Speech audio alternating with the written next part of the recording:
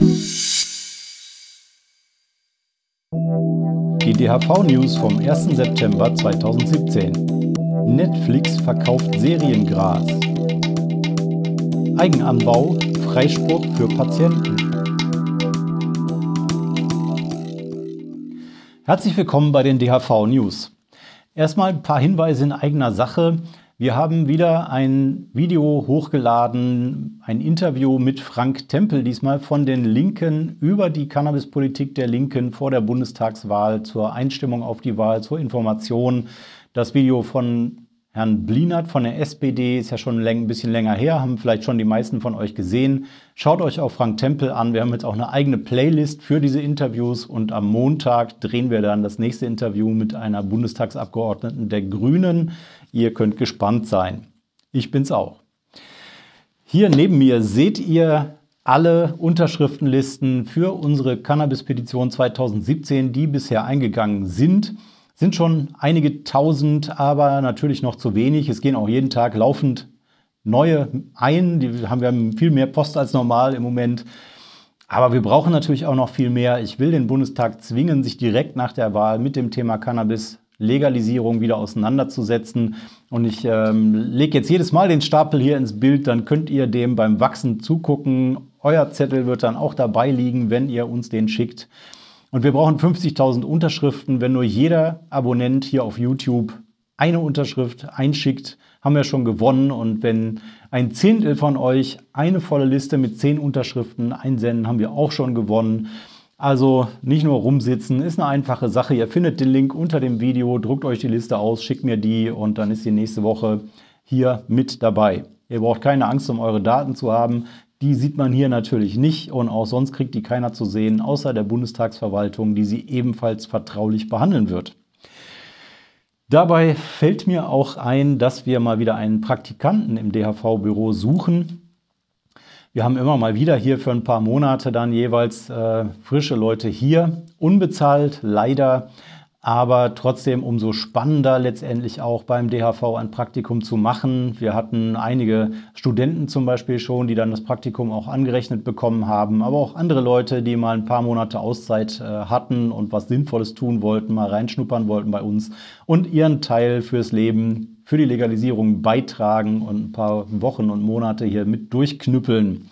Eine Aufgabe wird auch sein, diese Listen hier zu sortieren, zu zählen und so weiter. Dann kann ich demnächst auch einen ganz genauen Pegelstand ansagen, bis auf jede einzelne Unterschrift. Aber es gibt auch eine Menge andere Aufgaben, die hier mit zu erledigen sind. Wir richten uns da auch nach euren Fähigkeiten. Insofern schickt uns mal eine Bewerbung, wenn ihr Lust darauf habt. Ihr findet die Infos auch wieder unter dem Video natürlich. Und jetzt noch zwei Dinge im Nachtrag zur letzten Woche. Das erste betrifft den Hungerstreik von Franjo Grotenherm. Das war das Titelthema der letzten Woche. Unser Mr. Cannabis als Medizin-Doktor, der für alle Patienten in den, in den Hungerstreik getreten ist. Diesmal unbefristet, aber er hat ihn jetzt wieder beendet. Heute, wo wir das Video drehen, hat er seinen äh, Hungerstreik beendet und bis das Video online ist, wird wohl auch eine Erklärung von ihm dazu online sein. Ich habe schon erfahren, dass er jetzt äh, quasi ermutigt ist, sozusagen zuversichtlich in die Zukunft schaut, dass da bald was passiert, zumindest nach der Wahl. Ähm, er wollte ein Zeichen setzen, das wurde auch gehört, ist ihm insofern auch gelungen. Es ging durch die Medien, dieser Hungerstreik in mehreren Presseartikeln wurde das erwähnt und hat seine Forderung verstärkt. Er hat viele ermutigende Gespräche geführt, sagt er. Und ich für meinen Teil bin froh, dass er es nicht bis zum bitteren Ende durchzieht oder durchgezogen hat, weil wir brauchen Franjo noch für, für den weiteren Kampf für Cannabis als Medizin. Und ein zweites Thema, was von der letzten Woche hier noch reinragt, da geht es nochmal um Frau Mortler und ihre Pressekonferenz zum Thema Drogen- und Suchtbericht in diesem Jahr. Sie hatte ja die böse Cannabis-Lobby angegriffen, die die Jugend verdirbt mit ihrer Lifestyle-Legalisierungsdebatte. Deswegen kiffen jetzt wieder mehr Jugendliche, hat sie gesagt, wegen dieser Lobby und so. Ähm, sie hat dabei auch gesagt, und darauf will ich nochmal zurückkommen, dass die Cannabis-Lobby inzwischen einen besseren Zugang zu Teilen der Politik hat als die Alkohol- und Tabak-Lobby. Und das hat sie so entrüstet gesagt, ja, das ist also ein ganz großer Frevel, dass da Cannabis-Lobby jetzt Einfluss auf Politik hat, mehr als die Alkohol- und Tabak-Lobby, ganz furchtbar. Aber so entrüstet wie sie ist, kann man wohl davon ausgehen, dass bei ihr die Welt noch in traditioneller Ordnung ist. Sie sagt ja damit im Prinzip auch, dass bei ihr, Frau Mordler, die Alkohol- und Tabaklobby einen größeren Einfluss hat als die Cannabis-Lobby und dass das auch gut so ist. Ja, vielleicht hat sie gar nicht gemerkt, dass sie das gesagt hat. Ähm, ich habe es auch erst ein bisschen später begriffen, äh, dass man darauf nochmal einen Finger legen sollte. Also Frau Mortler ist stolz beeinflusst von Alkohol- und Tabaklobby. Und ein zweiter Punkt, auf den ich nochmal zurückkommen will, und der ist eigentlich wichtiger, Sie hat behauptet, mal wieder in dieser Pressekonferenz, dass in Colorado nach der Legalisierung der Cannabiskonsum von Jugendlichen massiv angestiegen sei. Sie hat 20 Prozent Steigerung bei jugendlichen Cannabiskonsumenten in den Raum geworfen. Und das ist schon ähm, erstaunlich, sag ich mal, weil die offiziellen Zahlen aus Colorado, die vom Gesundheits Ministerium kommen in Colorado mit ihren Daten und Fakten und Aussagen, quasi die direkten Kollegen von Frau Mortler äh, als ähm, drogenmäßig Zuständige der Regierung in Colorado haben gesagt, es gibt keinen solchen Anstieg bei jugendlichen Cannabiskonsumenten. Es gibt gar keinen äh, Anstieg, genauer gesagt. Ähm, es ist etwa gleich geblieben. Ähm, nach den ganz genauen Zahlen sogar ist der Konsum von Jugendlichen einen ganz kleinen Tick gesunken, aber so wenig, dass es nicht signifikant ist.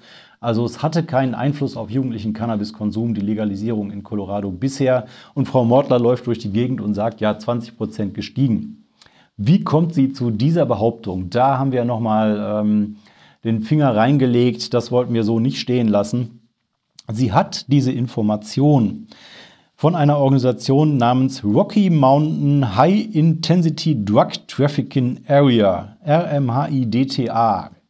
Klingt erstmal sehr offiziell nach einer Organisation, die, die den Drogenhandel ähm, in dieser Region beleuchtet, wie eine staatliche Agentur oder so.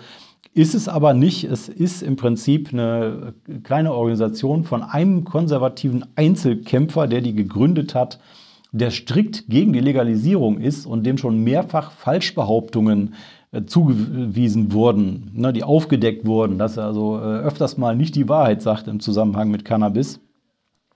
Und diese Auswahl an Informationen, statt der offiziellen äh, Informationen ihrer Kollegen in Colorado auf so eine Quelle zurückzugreifen, ist so skurril, dass es fast schon wieder witzig wäre, wenn das nicht so eine große Verbreitung hätte. Also was in Frau Mortlers Kopf vorgeht, ist mir einigermaßen wurscht mittlerweile. Sie wird wahrscheinlich sowieso nicht mehr lange im Amt sein. Aber die Presse hat massiv diese Behauptung aufgegriffen. Man liest das in allen möglichen Zeitungen und man liest es auch bei Kollegen von ähm, Frau Mortler. Zum Beispiel die drogenpolitische Sprecherin der CDU-CSU-Fraktion, Frau Zollner, hat das aufgegriffen in einem Statement.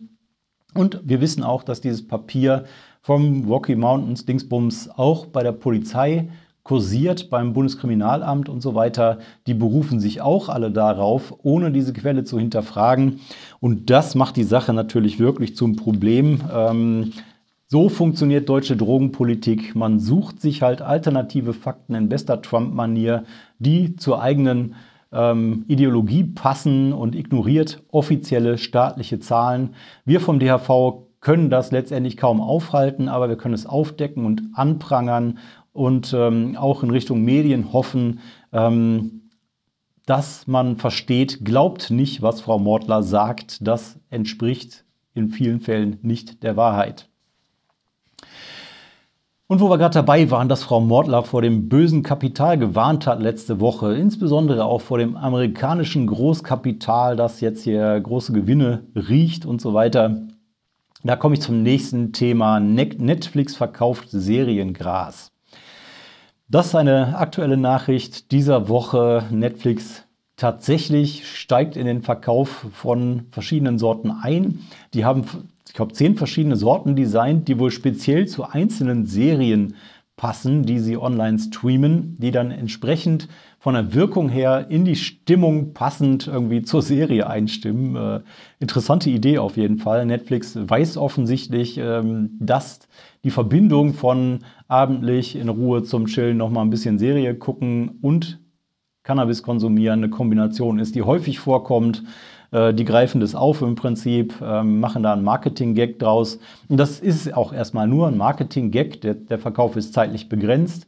Nur an Patienten in Los Angeles, die ja jetzt schon da, an die auch legal verkauft werden darf. Und das, die Aktion ist auch bald wieder zu Ende erstmal. Aber man kann das schon auch als Vorzeichen sehen zur Legalisierung des Verkaufs an Erwachsene in Kalifornien zum 01.01.2018. Und ich kann gar nicht oft genug sagen, wie wichtig das sein wird. Äh, Kalifornien ist nicht irgendein US-Bundesstaat. Kalifornien ist riesig und wirtschaftsmächtig. Und unter anderem sitzt eben auch ein Großteil der ganzen amerikanischen Filmindustrie in Kalifornien. Wir werden das sicherlich zunehmend jetzt auch an Hollywood-Produktionen zu sehen bekommen, diesen diesen neuen Ansatz in Kalifornien. Und Netflix ist nicht irgendeine kleine Klitsche, sondern ein Großkonzern, der da jetzt einsteigt. Und wer weiß, vielleicht verkaufen die ihr Seriengras ja dann tatsächlich regelmäßig in Shops in Kalifornien, wenn der erste, erste 2018 gekommen ist. Man kann natürlich jetzt auch kritisch sagen, wie Frau Mortler, so, oh, ich will gar nicht so viel Großkapital im Cannabishandel drin haben. Aber gut, das ist erstens eine Frage, wie man Cannabis reguliert, kann man so oder so machen und eine Frage des Verbrauchers. Man muss ja nicht letztendlich äh, dieses äh, Cannabis kaufen, sondern es wird sicherlich auch kleinere Strukturen geben, wie beim Wein, dass man dann irgendwie zum Weingut nach Italien fährt oder so und sich dann da eben eine schöne Sorte kauft, die einem besonders gut gefällt. Das haben die Konsumenten am Ende in Hand. Noch eine verrückte Idee aus Kalifornien. Wenn ich schon mal dabei bin, muss ich das auch noch erwähnen. Ähm, es soll eine Cannabis-Stadt entstehen. Eine der größten Firmen im Marihuana-Business in den USA, die American Green Incorporate, äh, hat ein eine Stadt gekauft oder besser gesagt ein Dorf, äh, Nipton in Kalifornien, in der Nähe zu Nevada, also Las Vegas, dann auch nicht weit weg. Und daraus wollen sie dann eine große Cannabis-Stadt machen, wo möglichst alle Cannabis-Enthusiasten hinziehen sollen, wo sie mit ihren Eigenarten akzeptiert werden, wo natürlich auch angebaut werden soll, kommerziell, wo dann auch Arbeitsplätze entstehen sollen und so weiter. Also es soll wohl eine ganz große Nummer werden. Ähm, ein Konzern kauft eine Stadt, um irgendwie eine große Cannabis-Metropole draus zu machen. Das klingt verrückt irgendwie, wie die Amerikaner so sind. Äh, aber manchmal sind sie auch cool mit solchen Sachen irgendwie. Ich bin gespannt, wie das weitergeht und berichte mehr, wenn tatsächlich was passiert. Und nochmal Thema Kalifornien in Kombination mit Uruguay. Wir hören jetzt, dass auch in Uruguay die Banken Probleme machen für die Geschäfte. In Uruguay sind es ja Apotheken, die Cannabis verkaufen. Jetzt gerade ganz frisch ist ja endlich der Verkauf angelaufen im Sommer in Uruguay. Der erste Staat der Welt, der auf der gesamtstaatlichen Ebene Cannabis legalisiert hat, mit dem Verkauf in Apotheken an alle Erwachsenen, die das wollen. Es machen gar nicht so viele Apotheken mit erstmal, aber das System läuft und existiert. Und die Apotheken haben jetzt Probleme, eine Bank zu finden, die ihre Geschäfte abwickelt. Ähnlich wie das auch in den USA ist bei den Staaten, die eben entsprechende Programme haben, auch medizinische Cannabis-Programme. So, und wie in ähm, Colorado, wo ja auch jetzt der gesamte Verkauf legal ist, Viele von uns haben die Bilder eben schon gesehen, wo dann das ganze Bargeld im Prinzip durch die Gegend gefahren wird. Der Sicherheit, die Sicherheitsbranche hat einen riesen Aufwind, weil da ständig äh, riesen Geldtransporte zum Finanzamt gefahren werden, damit die ihre Steuern bezahlen können und so, weil es eben keine Bankkonten für diese Geschäfte gibt. Und genau dieses Problem ist eben jetzt auch in Uruguay angekommen. In den USA ist das Problem eher, dass die Banken sagen, solange auf Bundesebene Cannabis noch nicht legal ist, würden wir ja dann auch gegen die Bundesgesetze verstoßen. Also wollen wir erstmal die Finger davon lassen. In Uruguay ist ja aber im gesamten Staat Cannabis legal. Da berufen sich die Banken auf die internationalen Verknüpfungen, dass sie eben auch Kunden in den USA und sonst wo auf der Welt haben und dass sie da nicht auf irgendeine Blacklist kommen wollen, weil sie eben mit ähm, Drogenproduzenten Geschäfte machen. Mal sehen, wie das in Uruguay gelöst wird. Kalifornien jedenfalls hat jetzt vor, eine eigene Cannabisbank zu machen. Da gibt es jetzt eine Arbeitsgruppe, die das jetzt äh, in die Wege leitet. Eine eigene Bank, die nur Cannabisgeschäfte versorgen soll mit entsprechenden Geschäftskonten. Jetzt komme ich nach Deutschland äh, mit einer kleinen Nachricht. Es gab mal wieder ein Smoke-In in Stuttgart das aber diesmal gar kein Smoke-In war. Ich habe hier schon mal berichtet, die Stuttgarter Smokes-In haben ja ein ähm, tolles Image mittlerweile sozusagen. Ich habe eine meiner Lieblings-DHV-News-Sendungen dreht sich um die Smoke-Ins in Stuttgart, weil die Stadt so wahnsinnige Auflagen macht, äh, wo gesagt wurde, die vorgedrehten Tabak-Joints sind ja sowieso nur Attrappen. ähm, weil legale Joints, äh, richtige Joints darf man natürlich da nicht rauchen. Aber auch die Attrappen könnten ja eine Vortäuschung vor einer Straftat sein, was selbst eine Straftat ist. Deswegen musste bisher in Stuttgart da eine äh, Audioschleife laufen. Ähm, es handelt sich um Fake Joints, die enthalten nur Tabak. Äh, das war damals so die Geschichte. Dann wollten die weitermachen und den Tabak eigentlich auch rausholen und äh, Nutzhanf nehmen, der ja auch nicht berauschend ist, der auch ähm, jetzt nicht so wahnsinnig illegal ist, sage ich mal. Die, Gesetzlage in Deutschland ist da zwar ein bisschen unklar, aber Hanftee zum Beispiel gibt es ja noch, den könnte man ja auch in die Fake Joints reinmachen. Das hat die Stadt jetzt aber auch verboten. Ähm, die Fake Joints, die es ja sowieso schon sind, durften also weder verteilt noch geraucht werden, was die ganze Aktion zu, einer, zu einem Fake Smoke-In mit nicht vorhandenen Fake Joints gemacht hat. Also ein ganz besonderes Smoke-In. Dafür wurden riesen Pub-Joints symbolisch geraucht und es wurden Unterschriften für die DHV Legalized Petition 2017 gesammelt. Auch gut. Es gab eine Umfrage im Auftrag des Playboy-Magazins zur Frage, wie stehen die Deutschen zur Legalisierung. Es kommt ja alle paar Monate mal irgendwo so eine Umfrage und für uns sind die immer spannend, zumal der Playboy natürlich nicht selber auf seiner Homepage äh, die Umfrage gemacht hat, sondern ein äh, Institut in Auftrag gegeben hat, MAFO diesmal, ein ähnliches Online-Umfrageinstitut wie Civey, mit denen wir ja auch schon zusammengearbeitet haben. Und auch hier kam allerdings ein sehr hoher Wert raus. 57 Prozent der Deutschen sind demnach für die Legalisierung von Cannabis, also deutliche Mehrheit für die Legalisierung, was ein spektakulärer Wert wäre, wenn er denn stimmen würde. Würde mich ja freuen, aber ähm, da kommt dann quasi so die Diskussion um die Frage, wie zuverlässig sind Online-Umfragen mit den entsprechenden Techniken und Wertungen, die dann die Institute im Hintergrund laufen lassen. Wir hatten ja auch schon eine erhebliche Diskrepanz zwischen Civey als Online-Umfrageinstitut auf der einen Seite, wir hatten damals 49 Prozent Zustimmung im letzten Herbst, und den traditionellen Umfrageinstituten wie Mnit und Infratest DIMAP, die geringere Werte hatten.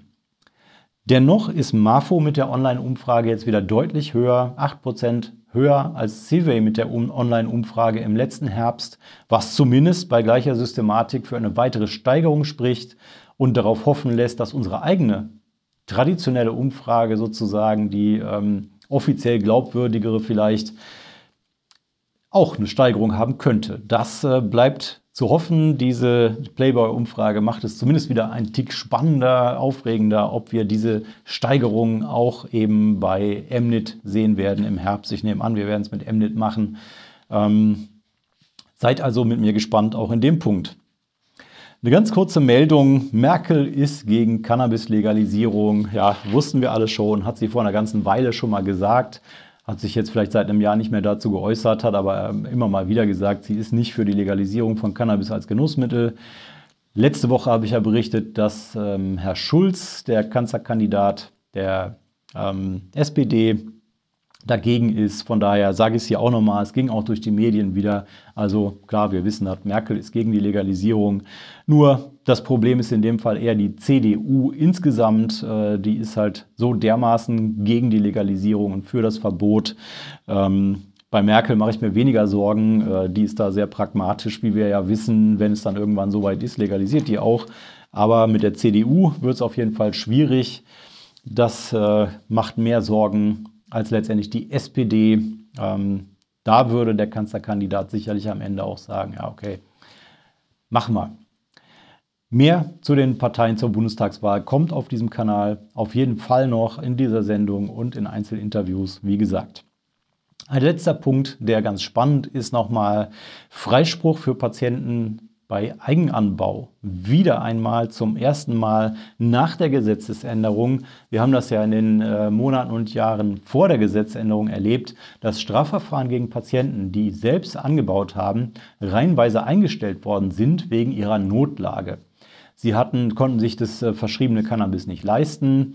Ähm, Krankenkassenerstattung war damals ja sowieso nicht angesagt. Sie hatten Versorgungsprobleme und so weiter haben selbst angebaut, die Strafverfahren wurden eingestellt, die Leute wurden freigesprochen. Und das war ja ein wichtiger Grund, auch wieso die Bundesregierung überhaupt das neue Gesetz gemacht hat. Sowas wollten sie verhindern, den Eigenanbau wollten sie verhindern indem sie die Notlage auflösen, indem die Krankenkassen das Gras bezahlen, indem die Versorgungssicherheit sichergestellt wird, dann sollte keiner mehr anbauen müssen und dürfen.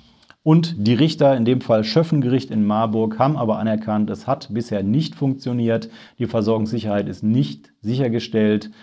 Die Krankenkassen zahlen nicht regelmäßig, ähm, nur in der Hälfte der Fälle ungefähr. In dem betreffenden Fall also auch nicht, obwohl der Mann angewiesen war auf Cannabis als Medizin. Wir werden sehen, ob es jetzt wieder Urteile hagelt zum Eigenanbau. Das ist vielleicht der Auftakt und hoffentlich auch ein weiterer Druckpunkt für die Regierung, diese Probleme aus der Welt zu schaffen, dass genug Cannabis in den Apotheken ist und dass die Krankenkassen verdammt normal den Patienten, die das brauchen, ihr Cannabis auch bezahlen. Die Termine. In Ludwigshafen gibt es einen Infotisch des Handverbands Rhein-Neckar am 2. September, Samstag. Nochmal Samstag, 2. September, das Patientensommerfest in Hamm des Hanf e.V. Und drittens nochmal Samstag, 2. September in Lübeck, die Demonstration Grastage Lübeck. In Heidelberg trifft sich die DHV-Ortsgruppe am 4. September. In Halle trifft sich die DHV-Ortsgruppe am 6. September, am Mittwoch. Donnerstag, 7. September trifft sich die Ortsgruppe in Düsseldorf. Und eine Veranstaltung Let's Talk About Cannabis mit Jugendrichter Andreas Müller, Freitag, 8. September in Fürstenfeldbruck. Also alle, die hier zuschauen jetzt in Fürstenfeldbruck, ihr habt bestimmt nicht so häufig hochkarätige Vertreter der Legalisierungsbewegung vor Ort, schon gar nicht einen Jugendrichter, der sich massiv für die Legalisierung einsetzt. Also nutzt diese Chance, geht dahin und äh, schöne Grüße nach Fürstenfeldbruck. Damit bin ich für diesmal am Ende. Freue mich, wenn ihr diesen Kanal abonniert, vielleicht diesem Video ein Like gebt. Ich wünsche euch noch einen schönen Tag und einen geruhsamen Abend.